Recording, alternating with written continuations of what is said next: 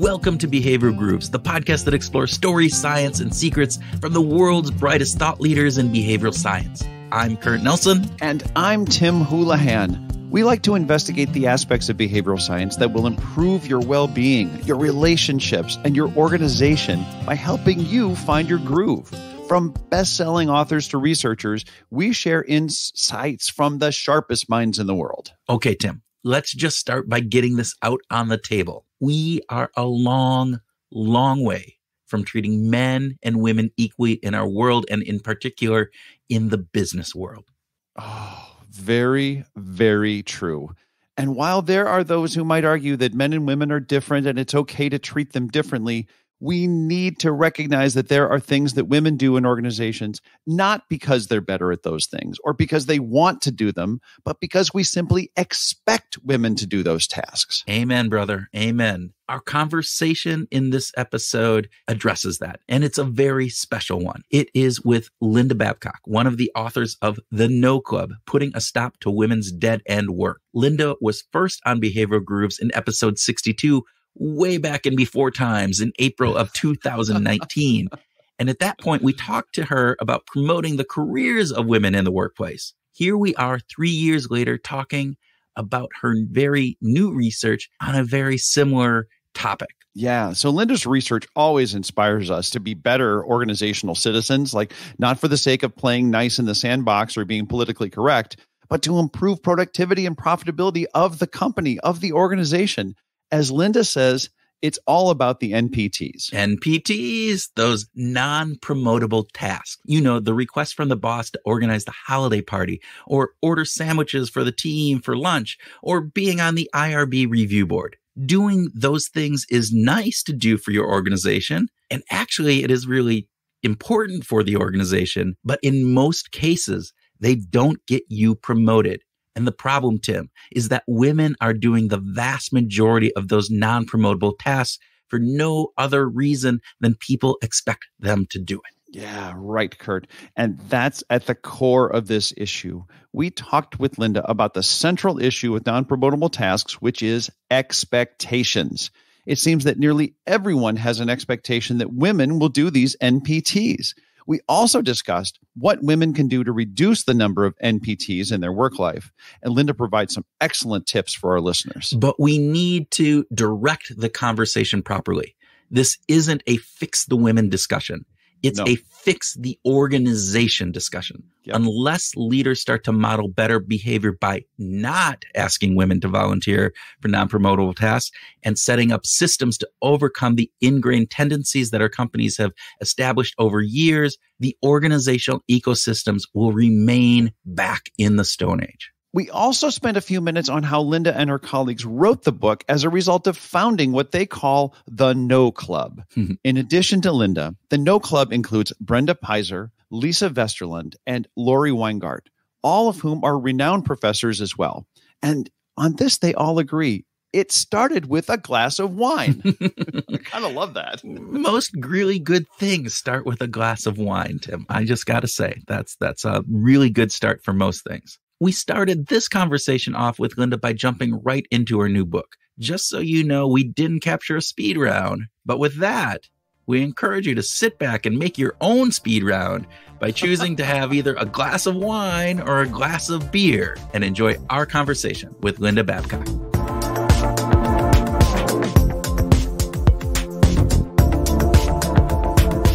Linda Babcock, welcome to Behavioral Grooves.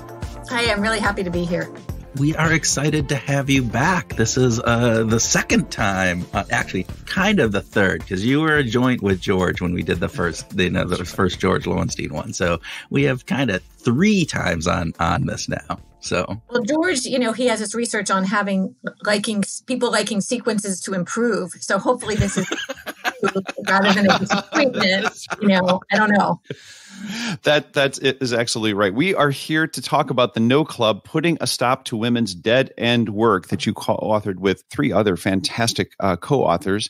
Uh, but we're here talking to you, and we want to start with just talking about you write about non-promotable tasks that are hiding in plain sight. Maybe could you start with telling us what a non-promotable task is, which you refer to as NPTs, and and why they're they're hiding in plain sight. Yeah, NPTs. So these are tasks that are important to your organization, but won't help the career of the person who does them. And so they will not show up in your performance evaluation. You might get a, hey, thanks for doing that, but it's never recognized again. And so there are lots of examples in all kinds of organizations of these NPTs.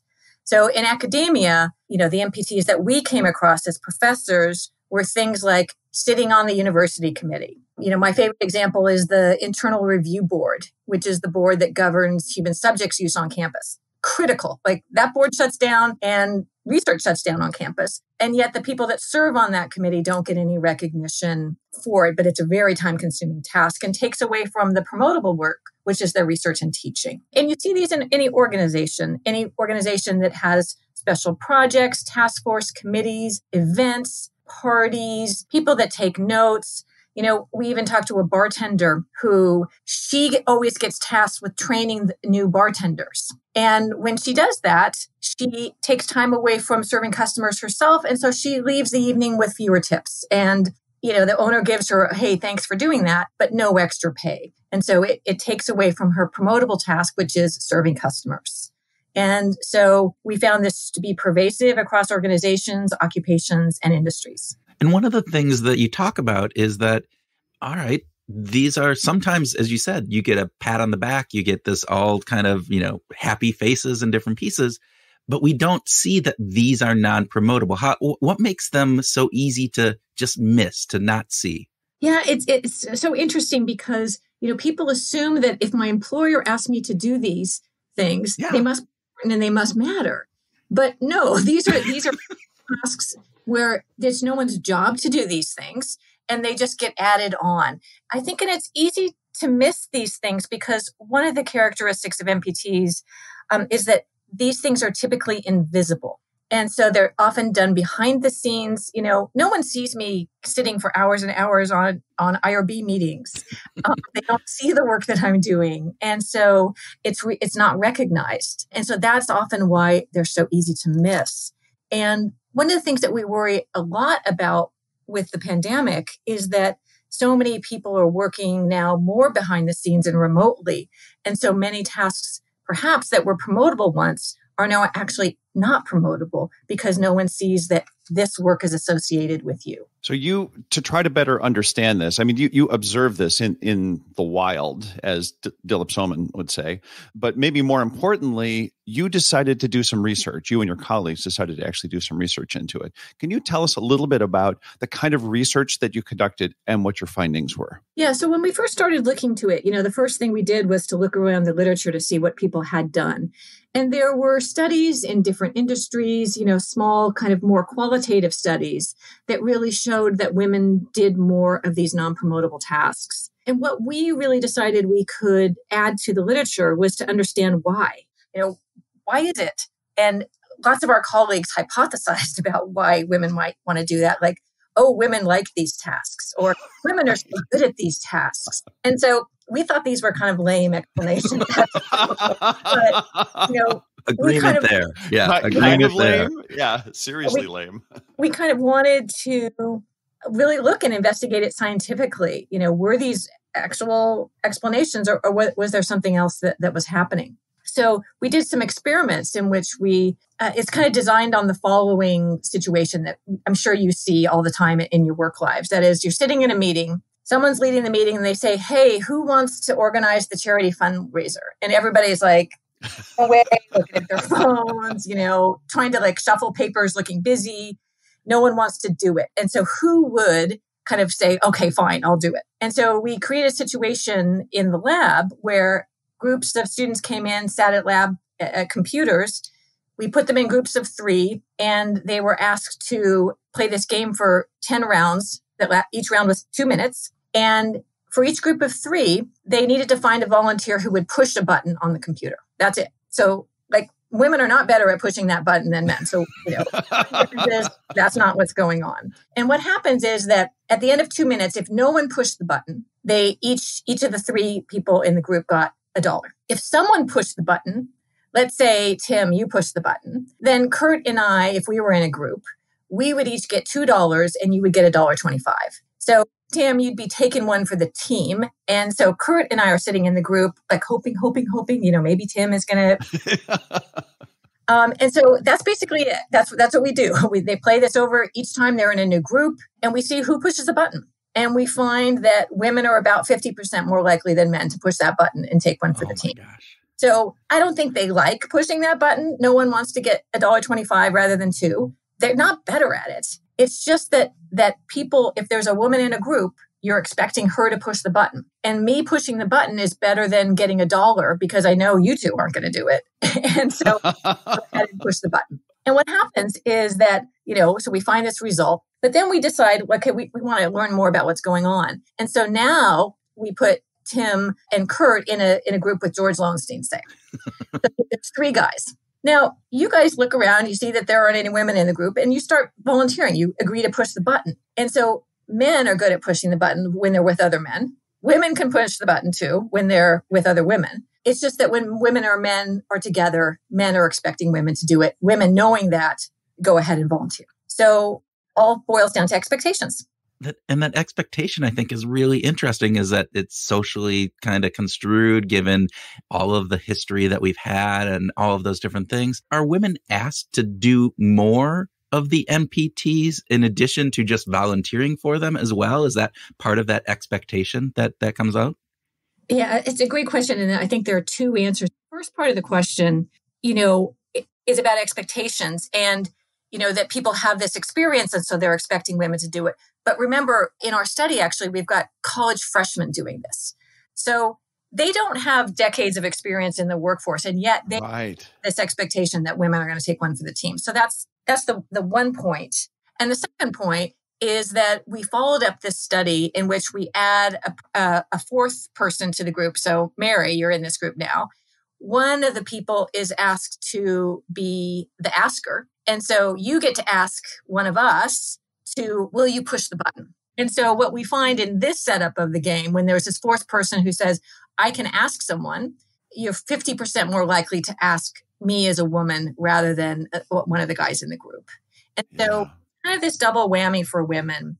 Women get asked more and they say yes more. And that's really why they're doing more. And so this we see as the main contribution of our research is to really understand the mechanisms by which women are doing more. You know, they don't like it, they're not better at it, but we expect them to do it and so we ask them. So gender is clearly a big it's a big knife that cuts through this.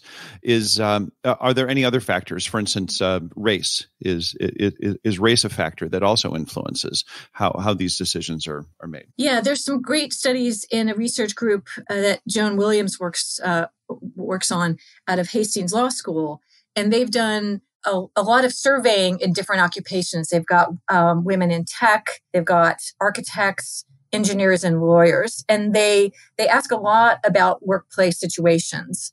And one of the things they ask about is they don't use the words of non-promotable tasks, but they, they often use the word office housework.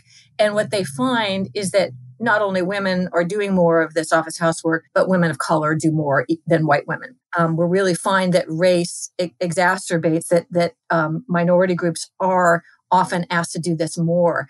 And some of the scholars in sociology call this cultural taxation. And so we're taxing underrepresented groups with doing this work. And so it's really hindering their ability to advance with the same opportunities as other people because women of color are overburdened even more than white women with these non-promotable tasks. Yeah. And and the big thing is these non-promotable tasks lend itself over time to people not getting that promotion, not getting the raise, not getting all of those factors that come into it. And you think that you look at that, all right, one year, two years, 10 years, 20 years, that can make a huge difference in, in how people are doing that. So what can women, what are some tips that you can share with women who find themselves in that situation where maybe they're being asked to uh, do more NPT requests? What what can you do, or what can what kind of hints do you have for them? Yeah. So one of the things we say in our book is a ton of feathers still weighs a ton. you know, these things might seem small, like, oh, sure, you're asked to take notes, or, or yeah, you're asked to, you know, write this this report this one time. But those things add up, and as you say, over time, day after day, week after week, year after year, they really are weighing women women down. And so we have a lot of solutions for organizations that I'm sure we'll talk about later. But in the meantime, we do have lots of advice for women because we lived this for over a decade. You know, the book started because we, five of us, banded together to start this I Just Can't Say No Club because we were overwhelmed with this work. We didn't call them NPTs yet. We didn't know what this work was, but we banded together just like a therapy group to help us gain control of our time. And over that, during that course of those those kind of monthly meetings that we had over wine, we learned how to say no better. In fact, um, I brought a little visual. You're not going to be able to see it uh, in the podcast, but I'll I'll, I'll do some um, sound. For the last time, no. So I have this little button that says no on it. It has different no's. Like, no. No. um, this is actually something that Richard Thaler sent me. Learning to say no is really important because we often say no the wrong way. And we often give an excuse or, um, you know, we say it badly. You know, like I got caught so many times saying, well, you know, you want me to come give a talk. I can't do it next month oh, you know, well, you can do it in three months and, you know, say that you're busy for the rest of your life and you'll never be able to do it. So you have to learn how to say no effectively. So we have a number of things that we, based on research that we looked at in the field, thought were effective ways to say no. One is to help the requester. The requ- requester just wants to solve their problem, right? If they have a task that needs to be done, they don't really care about what your excuse is. They need someone to do it. And so the best thing you can do is offer up somebody else. um, think about, you know, who actually might be good for that task? Who might it be a promotable task for? And, you know, in our club, of course, we always made sure that we offered up men instead of other women because we didn't want to just be passing the buck to other women. And so if you can actually think of someone who this would be a promotable task for, that solves the person's problem because that's really what the requester needs is, is to solve their problem. And some of the times we realized we couldn't really say no. You know, it's really hard for me to say no to the provost. Uh, uh, there are other people in your life that you just can't say no to. And so, what are the things that you can do saying no, but still having it be positive for you? One of the things you can do is do a trade. Say, you know, I, I can do this, but I need you to take this other thing off my hmm. plate. With that other thing being a non promotable task. You don't want to take the promotable stuff off your take non-promotable stuff. Right, right. And so, you know, can you relieve me of this other duty? So that's one way. Another way would be maybe you could share the task with someone. Could I get some staff support or can so and so help me with this? I'll do it this time if it's reassigned within a month. Someone else takes a turn. Or maybe you, you say, this part of it is really interesting to me. I'd like to do this part, you know, have someone else do this other part. It's, it's maybe not so interesting. So there are lots of ways to even if you have to say yes to make it better for yourself yeah, yeah those yeah. are great and and i think it's important to to support the women who are reading the book in that way but as you write this is not a fix the women book this is a this is a change the organization book and and so maybe we could turn to what are the things that you think about in terms of changing the organization what what can organizations do to help get better at this yeah, let, let me first explain a little bit why this isn't a fix the woman book and why the solution doesn't lie with women. Okay. So when I resigned from the IRB, the Internal Review Board, that was the bane of my existence, who who got to do it in the department? Julie. So it went to another woman. Of course, that's what's expected is that she's going to do it. And so it just kicks the can down the road to someone else, and then it's on Julie's plate. So it doesn't really solve problems for women overall. You know, it's also the case, there's some very good research by Madeline Heilman on this, and I've done some research on this as well, that women can face backlash when they say no. And so you don't want to be putting women in a position where you're telling them to say no all the time and then they, there are really negative consequences for it. And so it's really the organizations that need to change the way they allocate and reward work, especially non promotable work. And so it is paying attention to who you ask. You know, why should Julie be the one to be asked uh, next and why not Danny? And so, really to pay attention am I singling out women for these tasks because I know they're going to say yes? And so, really changing that. Organizations can also just look more broadly at their own data to see if they have this inequity. Uh, so I did some work for a very large professional services firm, and they actually keep meticulous track of their time because they bill clients. And so they had, you know, dozens and dozens of codes where you would code every 15 minutes about what you were doing. And this was client work, it was also mentoring work, it was recruiting, all kinds of different things. And they collected this data and they gave me three years of their data on how very senior people actually and some middle level people were spending their time. And what we found with this group is that women were spending 200 more hours per year than doing non promotable work. And they had no idea. And this was work that they themselves had deemed promotable because before we analyzed the data, I said, okay, look at this code. Is this promotable? Is this code promotable? You know, is this way of spending your time promotable? Is this non promotable? And so they coded all these different things into these categories. And they realized there was this huge inequity. And so, if you have this kind of data in your organization, you should look at it uh, to see how big the problem is. And if you don't have that data, maybe you can do something like a data collection effort that would help to identify the problem. Yeah. So, let's say some of our, our, our listeners out there um, are leaders, and, and some of them are might be men who, who they're listening to this this podcast right now, and they want to change the way that these NPTs get gold out. You know, so to your point, they've they've done look. We looked back three years and we realized this is not working. This is not what we want to do. So so what what do you recommend? What what can they do to get that ball rolling in order to to change that culture? Yeah, there are actually a lot of things that you can do. Some of them are super easy and some of them are a little more challenging. So let me start with the super mm-hmm. easy part. Stop asking for volunteers. what is it? But that just, I mean, you, that that's going to be something that that that is going to voice this upon women. And so, you know, my colleague Lisa Vesterlund, who's one of the co-authors um, of the book at the University of Pittsburgh, when they have promotion meetings, they start out each meeting by saying, Hey, who wants to write the report that will be submitted about the candidate and, and our discussion? And it's really important. This is super important to the university. It's super important to the candidate. But that is never going to be, you're never going to get a raise for having written this promotion report. They asked for volunteers and women would predominantly do it. Well, because of our work, now they pick names out of a hat.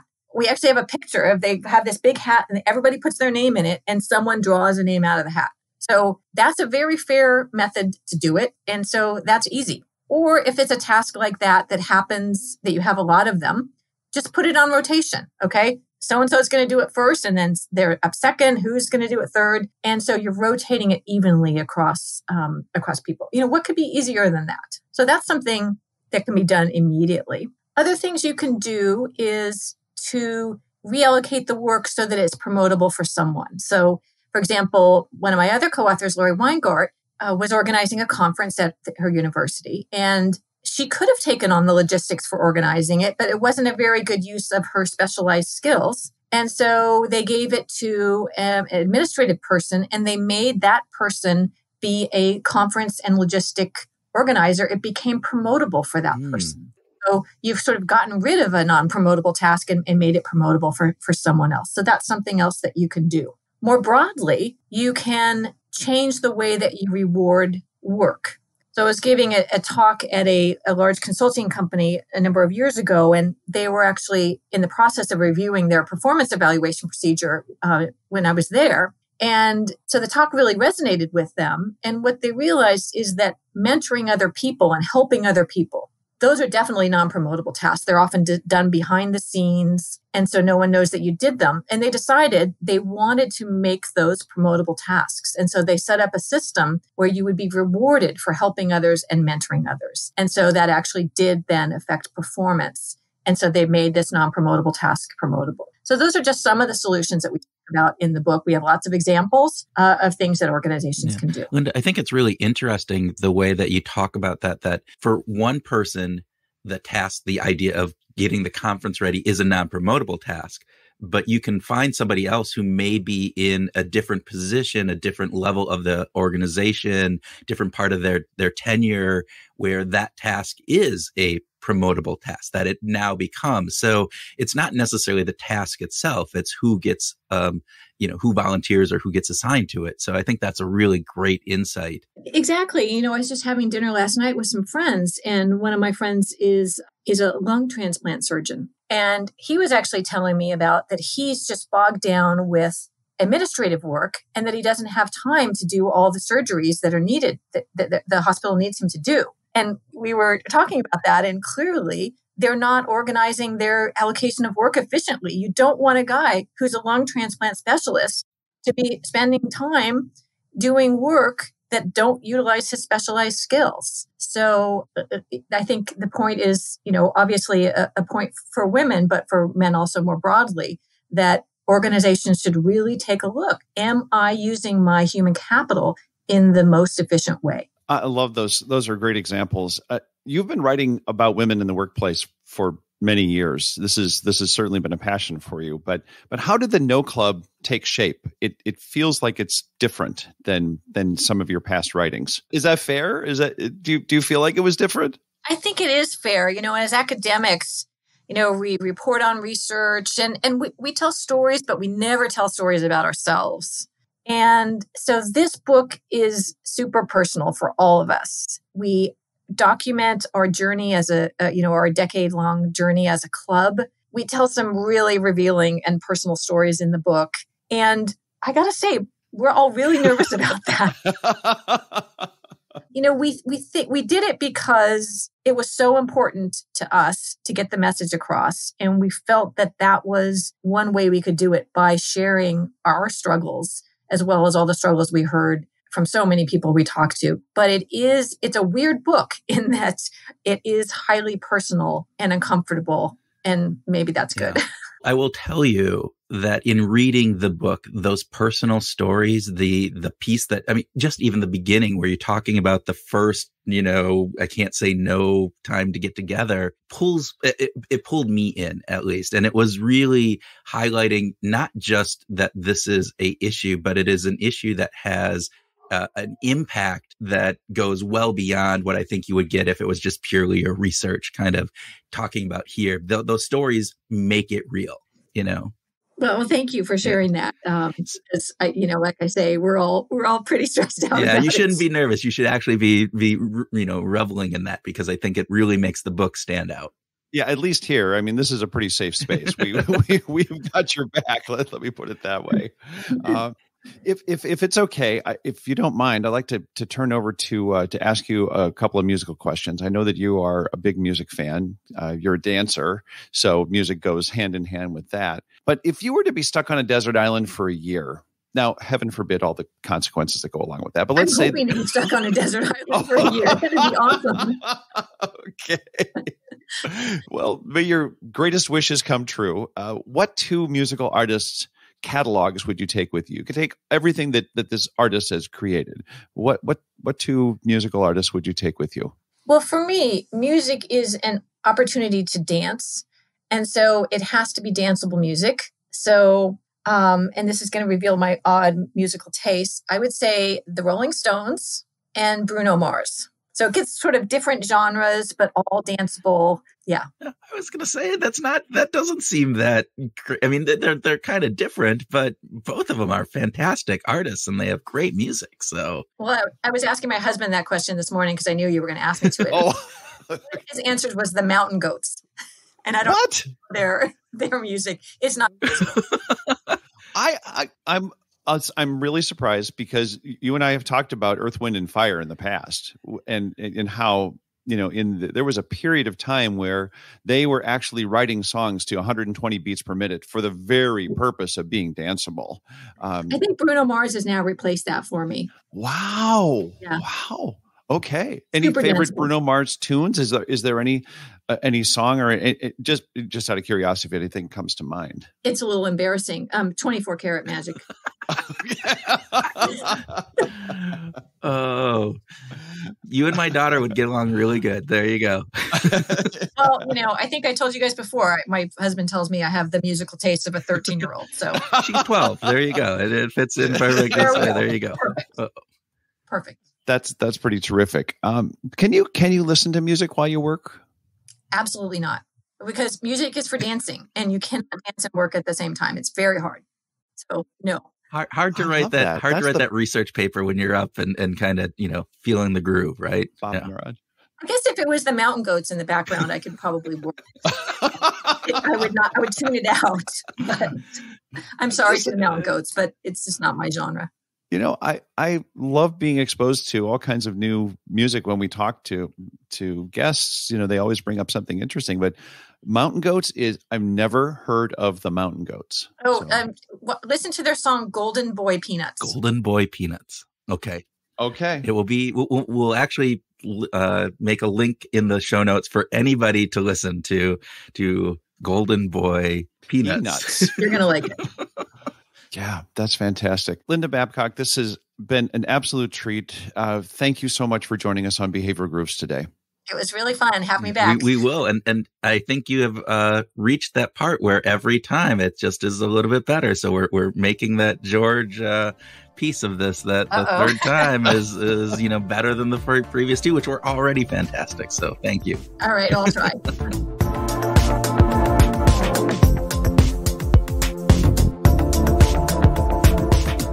Welcome to our grooving session where Tim and I groove on what we learned from our conversation with Linda, have a free flowing conversation, and talk about whatever else comes into our non promotable brains. Oh, thank you we have to we have to start with non-promotable tasks it's got to be about npts This Right. is this is an amazing insight that shouldn't be an insight at all. It should just be one of these Right. things that we go you look around just going, yeah, that's what happens, but we don't and what I love is that Linda just brings Linda and her co-authors, right? It's not just Linda. It is Linda and and and the co-authors that that wrote this book highlight this and highlight it in a manner that just brings this front and center because it's too easy to just look at that and we don't even notice it, right? That's the problem. We don't even see it. Yeah, yeah, and and as she says, a ton of feathers is still a ton. like like let's just let's just acknowledge that No what- feathers don't weigh anything. they're they're light as a feather. It's like that, you know, like that fourth grade joke. You know, which is heavier, a pound of bricks or a pound of feathers? Yeah. you know, it's like we, especially leaders in general, in general, missing the big point here. Uh, and because these these tasks are invisible, and we are not, we haven't done a good job of setting them up to this point. I feel like this is really revolutionary kind of research that Linda and her colleagues have done. And and the fact that we default to these NPTs, that women are the default to these, Yeah. whether Yeah. that's the expectation from men, it's also the expectation from other women, right? Yeah. This is this is not this is just it's kind of the the cultural ecosystem that we've grown up in again and it becomes invisible it becomes something that you don't see and even the research that she did showing like hey you know let's push the button in this situation and when you push the button when you have a male and female who pushes the button women do more than half the time right More than half the time, right? Yeah, way more than half. way the time. more than half the time which is just crazy when you think about it. They should you you shouldn't be volunteering for these unless it is something that you really want to do or it's a promotable task not just because of your gender. It, it all boils down to expectations that we all have this agreed upon expectation that women are just going to do it. And we are and organizations are suffering academic organizations corporations nonprofits suffer because of it by not equally distributing uh, the npts to a wide variety of people. Right. Because you know we're just missing out on this. You're not getting the full insight the full creativity the full productivity of the entirety of the organization because you're overburdening uh, a certain subgroup with a ton of feathers and it's still a ton of feathers right? Right. And, and this, I wanted to ask you about this because I thought this was the even beyond just this fact that we we burden you know women with this more often than we do men women of color have that particular Yeah. as linda talked about uh, it's even worse for them Uh, yeah, I loved how she brought up this term cultural taxation. You know, I mean, Linda's a labor economist by training. And so and she thinks about sort of life in economic terms. And it's a tax on ethnicity to think that women of color are paying a heavier price, you know, for these NPTs. And I think that that's just. Uh, it's again, it's really great that we're getting some light shed on this so that we can do something about it. Leaders have to do something about it. That, Yeah. That's kind of the, the big deal there. and i like the the point that you say that light is being shed on this that if we don't study these things we won't see the tragic impact and if we don't see that impact we won't take corrective action Yeah. Uh, what did you think about uh, the advice for women? The the, the things that Linda brought up. uh, love it love it uh, i mean and, and again reiterate this is not a fix the women issue Right. but there are things that women can do in order to help themselves. But you know this idea you know look help the requester. Somebody's asking you to do Yeah. something. It's a it's they don't care uh, uh, if who does it tic- typically. It just needs Right. to get done. So help them. I like that. I like this idea of finding someone else to do that task. Someone who hopefully isn't a, a, another woman but where that task isn't a npt where that task could actually be a promotable Yeah. task where you know different roles in different organizations different things get counted for when you're looking at what you've done over the past quarter the past semester the past year and those are the types of things that if you can if you can bring that over to somebody or just their tenure with the organization somebody starting Yeah. out these things might have more value for them and so think about that and not just taking on that responsibility yourself but thinking about who can benefit from doing this task Yeah, if you're if you as an individual are jonesing for the chief party planning officer role at some point in your career, great. Plan all the damn parties, you know, because those become promotable. That becomes part of your story, your your CV. Go ahead and do that. But if you're an you know, in accounts payable, party planning isn't going to help your your job rating. It just it just isn't. I, I also like the idea of do a trade. uh, I thought that that was just like, okay, you know, I, I'll do this, but at the same time, uh, Mr. Ms. Boss, you need to help me with taking something off my plate because it's going to take some time. Yeah. And and that's going to that might change my objectives. That might, you know, there's going to be ripple effects to this. I, I thought that that was really good that she called that out as a, as a tip. Yeah, and then the other idea of like, let's not do this alone. We we work right. in a community, so share the task with someone. Thought that was that was another really great idea.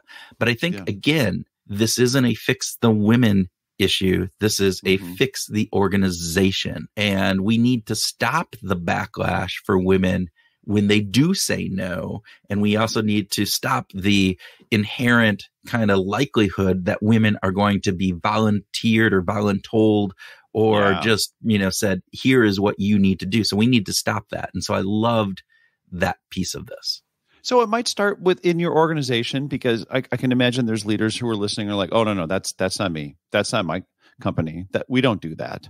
We'll collect some data, right? Get started with collecting some data. yeah and like i loved when, when she said look we did. We collected data. And when we did we found that women are spending 200 more hours per year than men doing Wow. npts so let's just 200 hours a year. Ah that's yeah that's a lot right? That's five weeks of work. That's five full 40 hour weeks of work.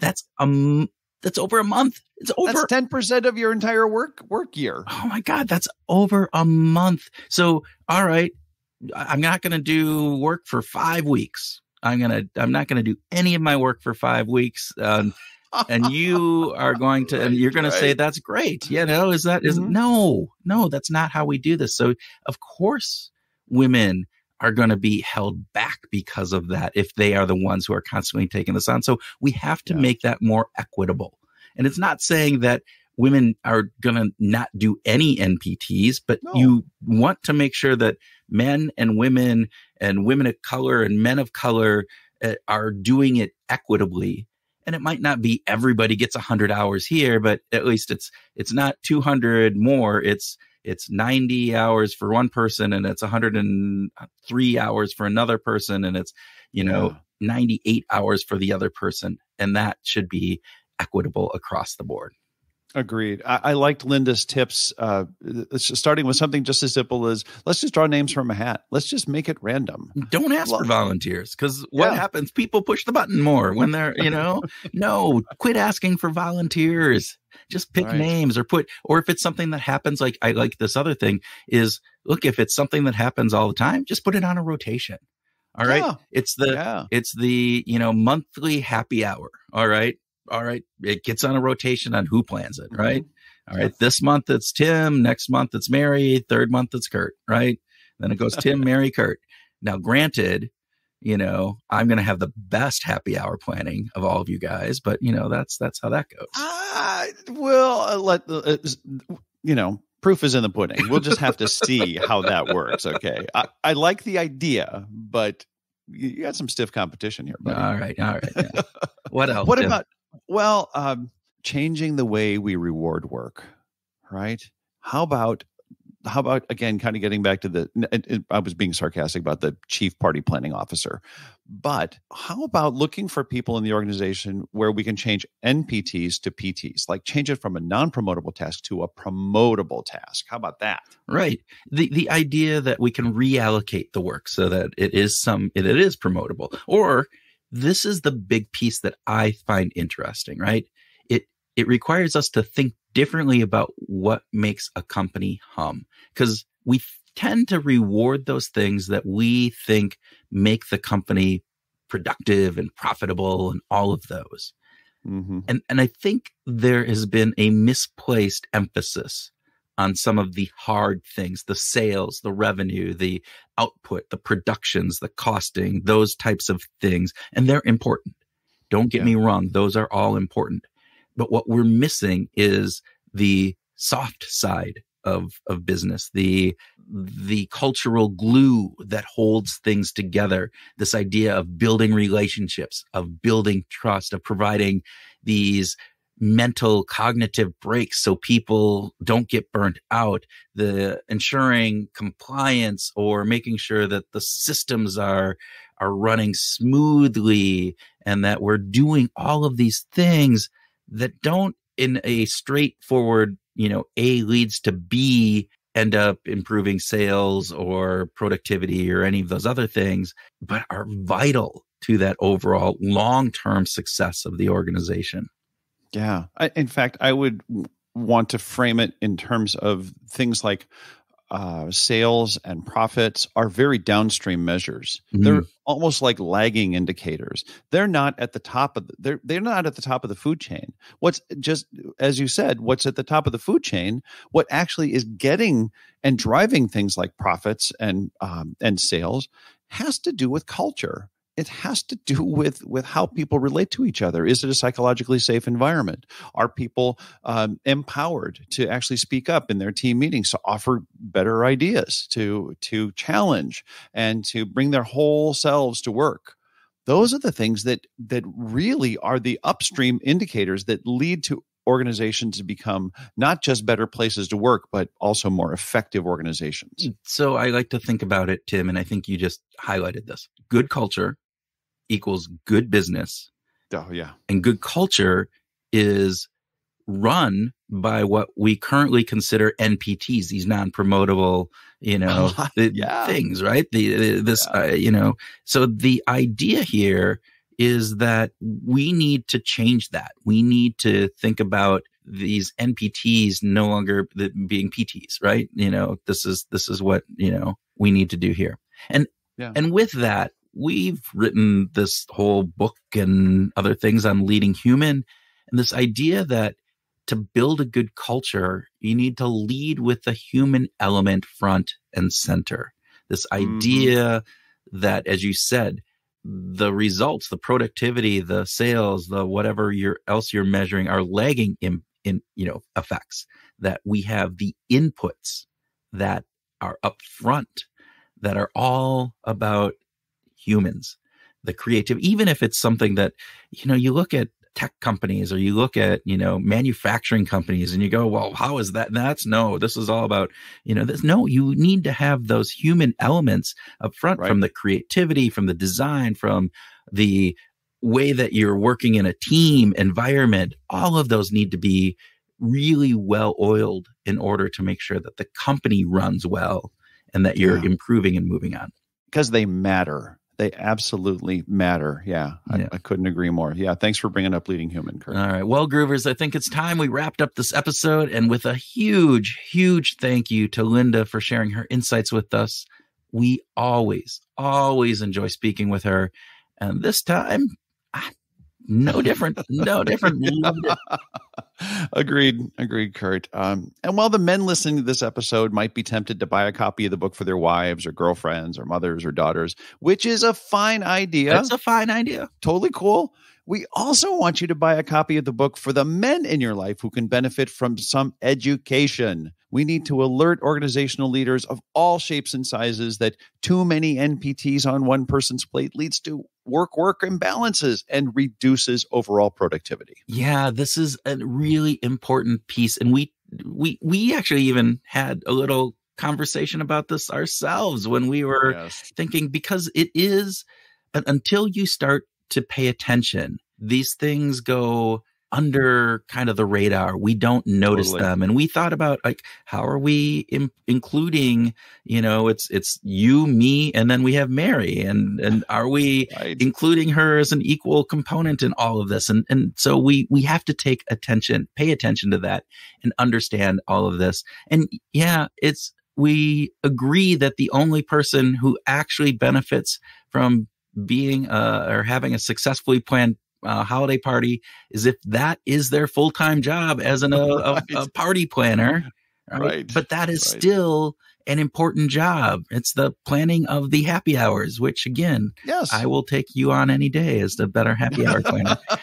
but if this task falls on someone whose regular job, you know, that party planner, if it falls on somebody whose regular job is to manage accounts payable or a QA specialist on an agile team, then the party planning role needs to be rotated so it doesn't yes. end up on an as another NPT in her to-do list. Oh, absolutely. Absolutely. Uh, and by the way, if you want to learn more about what leaders can do to manage their teams during these chaotic times, check out the guidebook that Kurt and I were just referencing called Leading Human. Uh, it's a workbook with a companion playbook on how leaders can up their games on dealing with the more human side of leadership as we as we just talked about here a minute ago. And you can find it all on the behavioralgrooves.com website. Yes, please check it out and keep this conversation with Linda in mind as you think about how tasks are being doled out on your team this week. And with that, we hope you carry these ideas with you as you go out this week and find your groove.